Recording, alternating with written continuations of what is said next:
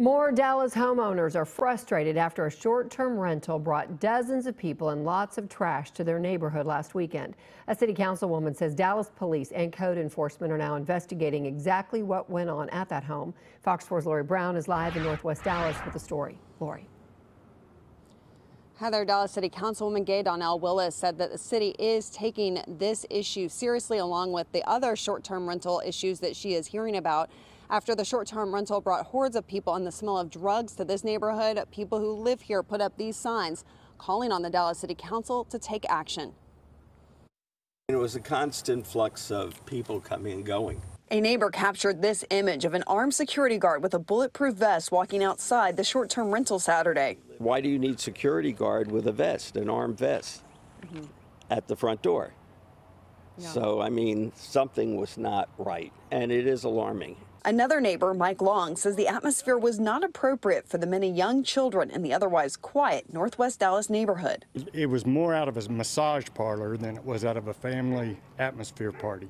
Long says he is speaking out so people know how quickly short-term rentals can bring havoc to a neighborhood. I had never, ever imagined this was an issue.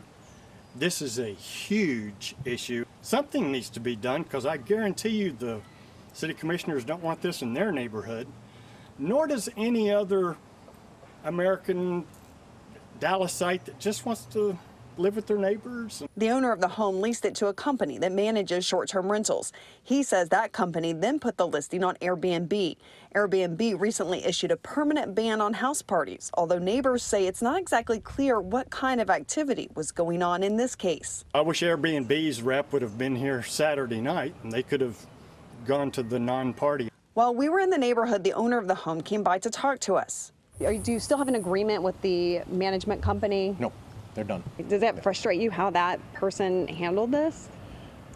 They are very they they at the very beginning they were here and they were on property an awful lot and then they left to go expand what they're doing with their business. I'm not going to fault them for doing that, you know. Okay. This is this is this is a free country. Ted Reemsa, who grew up in the neighborhood, said he called police to ask the short-term tenants to leave the property Saturday. Please just go. And they fought that. Reemsa says there were a number of lease violations, from smoking and drug use to too many vehicles parked outside. He told us this is not what he was expecting when he signed on with the management company. Businessmen being relocated, nurses that need temporary housing. Is this kind of thing going to happen again?